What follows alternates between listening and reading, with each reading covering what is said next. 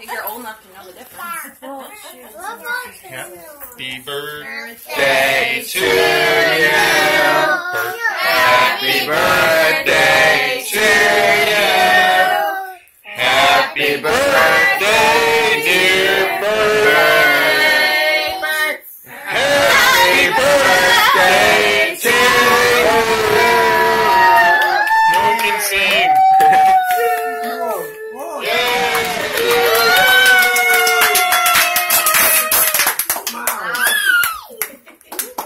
nervous.